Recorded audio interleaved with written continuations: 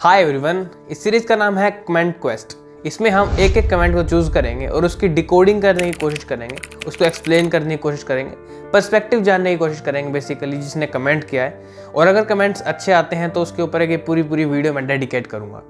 आज की वीडियो का कमेंट है एक बच्चे का, जिसने फार्म डी के बारे में फार्मेसी के बारे में काफ़ी कुछ लिखा है। काफ़ी टाइम से मेरे पास चैनल पे कमेंट्स आ रहे थे काफ़ी सारे बच्चों के फार्म डी से रिलेटेड कि फार्म डी के बाद कौन सी जॉब्स अवेलेबल हैं? और बच्चे कन्फ्यूज़ हैं कि हम फार्म डी क्यों करें? फार्म डी हमें क्यों करनी चाहिए?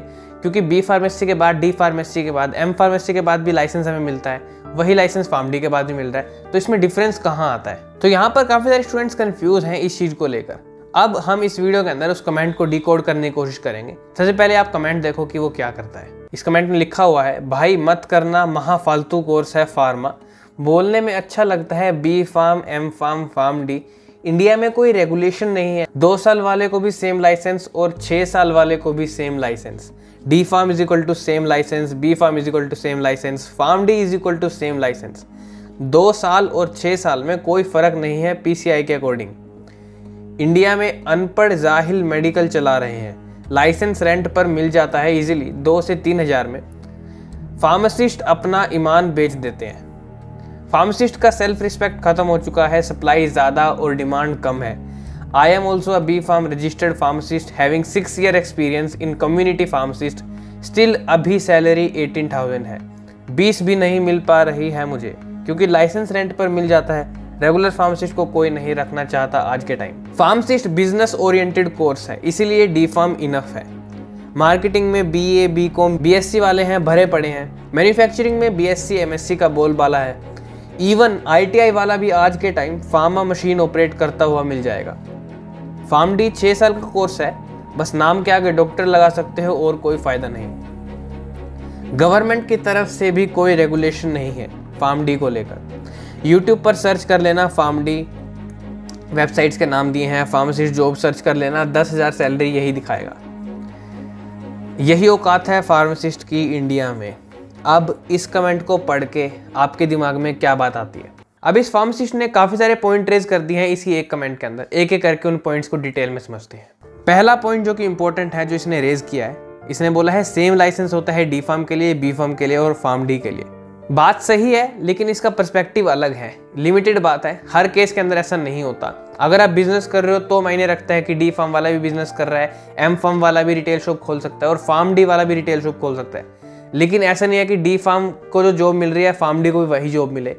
क्योंकि जिस बच्चे ने बी फार्म करी है एम फार्म करी है, या फार्म डी करी है, उसकी जो जॉब्स होने वाली हैं, वो बिल्कुल अलग होंगी, जो डिप्लोमा की होंगी। जो लिमिटेड सेक्टर के अंदर जॉब्स होती हैं लो लेवल की जॉब्स होती हैं, वही डी फार्म को मिलती है। तो ऐसा नहीं है कि अगर आपने दो साल का कोर्स करा है और आप कंपेयर करोगे उसे छः साल की डिग्री के साथ, ये बिल्कुल भी पॉसिबल नहीं है। जिन बच्चों ने डी फार्म करी है, उनको काफ़ी लिमिटेड अपॉर्चुनिटी मिलती है मार्केट के अंदर और काफ़ी लो पेइंग जॉब्स मिलती हैं, साथ में लोअर पोस्ट मिलती हैं।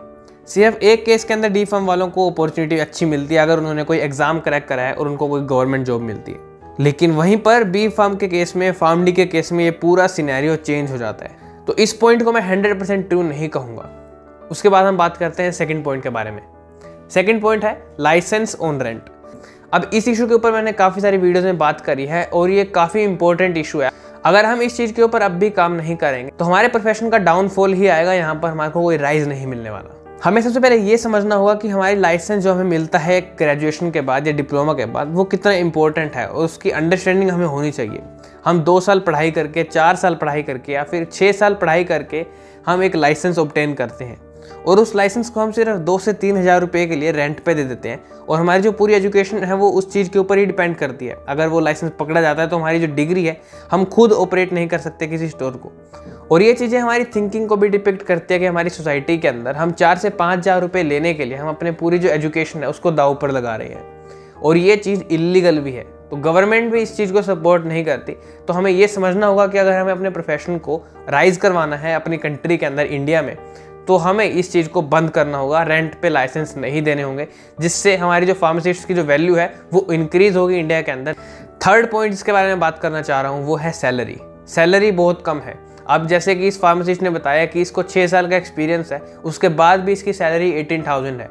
लेकिन क्या ये हर फार्मासिस्ट के केस में देखने वाले हम? नहीं।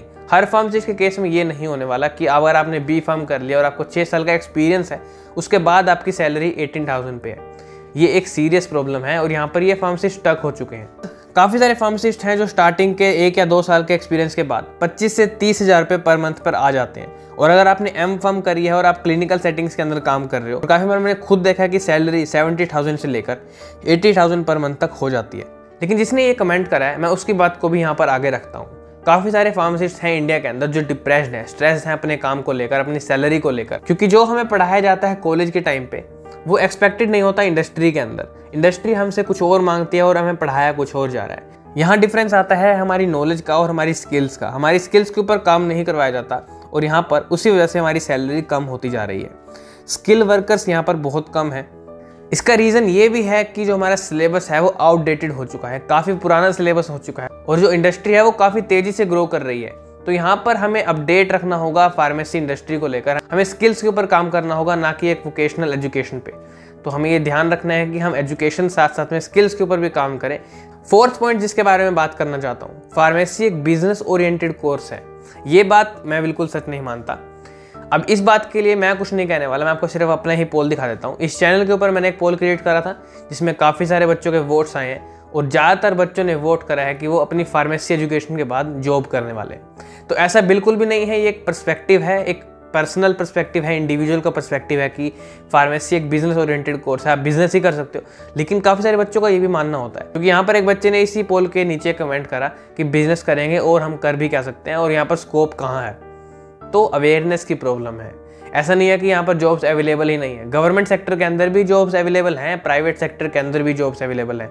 मैंने काफ़ी सारी वीडियोस बनाई हैं इस चैनल के ऊपर जिसे मैंने डिस्कस करा है स्कोप ऑफ़ फार्मेसी को। एक पूरी पूरी प्लेलिस्ट है। उसमें मैंने यही बताने की कोशिश करी है कि ऐसा नहीं है कि फार्मेसी के बाद हम सिर्फ़ अपना स्टोर खोल सकते हैं। और ज़्यादातर बच्चों की थिंकिंग यहीं पर ख़त्म हो जाती है। लेकिन इससे आगे बढ़कर हमें ये देखना होगा कि कितनी अपॉर्चुनिटी अवेलेबल है इंडिया में और अब्रोड कंट्रीज़ के अंदर। तो हमें इस चीज़ के ऊपर काफ़ी रिसर्च करनी होगी, काफ़ी पढ़ना होगा, अपने सिलेबस से हटकर इन चीज़ों को भी देखना होगा।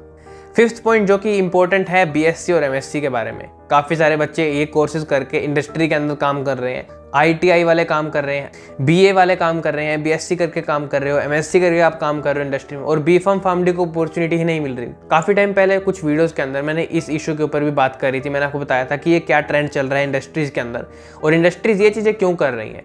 उनका बेनिफिट सिर्फ़ फाइनेंशियल बेनिफिट है। वो इन स्टूडेंट्स को, इन ग्रेजुएट्स को जिन्होंने बी करी है एम करी है, इन्हें कम सैलरी के ऊपर अपॉइंट करते हैं ताकि वो फार्म डी या फिर बी फार्म को अपॉइंट ना करें। क्योंकि हमारी सैलरी एक्सपेक्टेशन ज़्यादा होगी उन बच्चों से। तो उनसे वो वही काम करवा लेते हैं जो हम करेंगे। और यहाँ पर इंडस्ट्री के अंदर कुछ ऐसे काम होते हैं जो जनरल होते हैं, जो कोई भी कर सकता है। और ऐसे स्पेसिफिक काम के लिए वो इन्हें नहीं रखते जो हम सिर्फ़ फार्मासिस्ट ही करते हैं। जनरल बेसिस के काम होते हैं और वो इन बच्चों से वो करवाते हैं। और जो यहाँ पर जो हमारी फार्मासिस्ट की एम्प्लॉयमेंट है, वो इससे कम हो रही है। तो इस पॉइंट से तो मैं एग्री करता हूँ यहाँ पर, लेकिन ये मेजोरिटी केस के अंदर नहीं है। काफ़ी कम इंडस्ट्रीज़ हैं जिसमें ये देखा गया है। लेकिन ये एक इतना सीरियस इशू नहीं है कि इसके ऊपर हमें बात करनी चाहिए। इसके ऊपर हम कोई स्टेप लें। ये काफ़ी कम इंडस्ट्रीज़ के अंदर है, लेकिन अगर आप एक एजुकेटेड हो, आपके पास स्किल्स हैं तो बिल्कुल आपको अच्छी सैलरी के ऊपर जॉब ज़रूर मिलेगी। लास्ट पॉइंट जिसे मैं डिस्कस करना चाहता हूँ इस वीडियो में, यहाँ पर ये फार्मासिस्ट बात करते हैं गवर्नमेंट सपोर्ट के बारे में। फार्म डी स्टूडेंट्स को फार्म डी ग्रेजुएट्स को यहाँ पर कोई गवर्नमेंट सपोर्ट नहीं मिल रहा। अब इसके बारे में बात करूँ, इससे पहले आप ये वीडियो देखें। Only traders So we have to work on the patient counseling and also take a charge for patient counseling. Already mentioned in the PPA 2015, you can take a charge uh, against the patient counseling.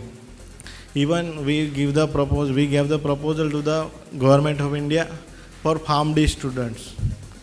They can practice as like a doctor for primary treatment and give the some restricted prescription rights So government of India agreed on it on, on that and within a short period they will release the gadget. So it is very great achievement of Pharmacy Council of India because uh, many PharmD students, many PharmD students are uh, not getting proper work and other jobs for the their PharmD studies. अब जैसा कि आपने इस video में सुना कि यहाँ पर जो पीसीआई के प्रेसिडेंट हैं मोन्टू पटेल उन्होंने गवर्नमेंट ऑफ़ इंडिया के साथ बात करी है और गवर्नमेंट ने कुछ चीज़ों को लेकर एग्री भी किया है, लेकिन अभी तक उसके ऊपर इम्प्लीमेंटेशन नहीं हुआ। तो यहाँ पर बात ज़रूर हो रही है पीसीआई अपना काम कर रहा है, लेकिन गवर्नमेंट को यहाँ पर इम्प्लीमेंटेशन में टाइम लग रहा है। और अगर आप मेरा पर्सनल ओपिनियन पूछते हो तो मुझे नहीं लगता इन अ नियर फ्यूचर यहाँ पर इस चीज़ को लेकर काम होगा। As a pharmacist as a pharm graduate आप प्रिस्क्राइब कर पाओगे मेडिसिन को। लेकिन ये सिर्फ़ एक केस के अंदर हम देख सकते हैं। अगर केस होता है कि आपको रूरल एरियाज़ के अंदर काम करना है, क्योंकि जो डॉक्टर्स हैं, जो एमबीबीएस डॉक्टर्स हैं, वो ज़्यादातर प्रेफर नहीं करते रूरल एरियाज़ को, वो अर्बन एरियाज़ के अंदर ही डॉक्टर मेडिसिन का काम कर रहे हैं। तो रूरल एरियाज़ के अंदर अगर डॉक्टर्स की कमी होती है और वहाँ पर उन्हें वो सीट्स फुलफिल करनी है तो वहाँ पर फार्म डी ग्रेजुएट्स काम आ सकते हैं। लेकिन अभी कुछ सालों के अंदर मुझे नहीं लगता ये चीज़ भी पॉसिबल होगी। लेकिन पाँच साल बाद, दस साल बाद हो सकता है कि अपॉर्चुनिटी फार्म डी ग्रेजुएट्स को मिले। फार्म डी अभी भी एक कोई फेवरेट कोर्स नहीं है स्टूडेंट्स के बीच। इसके बीच में काफ़ी सारी कन्फ्यूज़न है। इस कोर्स को लेकर काफ़ी डाउट्स हैं बच्चों के मन में। काफ़ी डर भी है। लेकिन मैं आपको यहाँ पर एश्योर करना चाहता हूँ, कुछ ऐसी जॉब्स हैं जो फार्म डी ही कर सकती हैं। कुछ ऐसी पोस्ट हैं जहाँ पर आप बी फार्म के बाद नहीं जा सकते। आपको फार्म डी करनी होगी। उनके बारे में आपको पता होना चाहिए। कुछ चीज़ें मैं आपको यहाँ पर इस वीडियो में शेयर करता हूँ। क्लिनिकल फार्मासिस्ट की अगर आपको पोस्ट चाहिए तो फार्म डी एलिजिबल है बी फार्म नहीं है। रेजिडेंसी प्रोग्राम करने के लिए मिनिमम रिक्वायरमेंट फार्म डी की है। अगर आप आर डिपार्टमेंट की बात करो किसी भी इंडस्ट्री के अंदर तो वहाँ पर एम फार्म ग्रेजुएट्स और फार्म डी ग्रेजुएट्स ही अवेलेबल होते हैं। क्लिनिकल रिसर्च के अंदर फार्म डी ग्रेजुएट्स ही होते हैं, जो क्लिनिकल ट्रायल्स में इन्वॉल्व होते हैं। रिसर्च प्रोजेक्ट्स के अंदर और अकेडमिक्स के अंदर भी फार्म डी ग्रेजुएट सबसे ऊपर आते हैं। और अगर मैं इंडिया के छोड़कर दूसरे कंट्रीज़ की बात करता हूँ तो कई कंट्रीज़ के अंदर फार्म डी एक minimum eligibility as a registered pharmacist बनने के लिए। अमेरिका उसके अंदर नंबर वन कंट्री आती है। तो ये कोर्स पूरा ब्लैक नहीं है और पूरा वाइट नहीं है। हमें दोनों साइड्स को समझना होगा और हमें जानना होगा कि हमारे लिए क्या सही है और क्या गलत। हर प्रोफेशन के अंदर कुछ पॉजिटिव साइड होती है, कुछ नेगेटिव साइड होती है। तो हमें अपने अकॉर्डिंग देखना होगा कि हम क्या पॉजिटिव साइड पे काम कर पाएँगे, क्या हम इस कोर्स के थ्रू अपने करियर के अंदर ग्रो कर पाएँगे या फिर नहीं। हमें सिर्फ़ दो ही चीज़ें करनी है, अपनी स्किल्स के ऊपर काम करना है और अपडेट रखना है इस इंडस्ट्री के बारे में। इस इंडस्ट्री में क्या लेटेस्ट हो रहा है, क्या टेक्नोलॉजी यूज़ हो रही है, उसके बारे में हमें समझना होगा, जानते रहना होगा। और इस चैनल के ऊपर हम यही चीज़ें बताते हैं। तो अगर आपने इस वीडियो को पूरा यहाँ तक देखा है तो मुझे उम्मीद है कि आपको इस वीडियो से काफ़ी लर्निंग मिली होगी। इस वीडियो को लाइक करें अगर आपको इस वीडियो से कोई भी लर्निंग मिली है। शेयर करें अपने और दोस्तों के साथ जो कि फार्मेसी की फ़ील्ड से हैं, ताकि उनका पर्सपेक्टिव चेंज हो फार्मडी कोर्स को लेकर। और अगर आपने हमारे चैनल को अब तक सब्सक्राइब नहीं किया तो सब्सक्राइब भी कर लीजिए, क्योंकि ऐसी औसम कंटेंट इस चैनल के ऊपर आता रहेगा। तब तक के लिए धन्यवाद।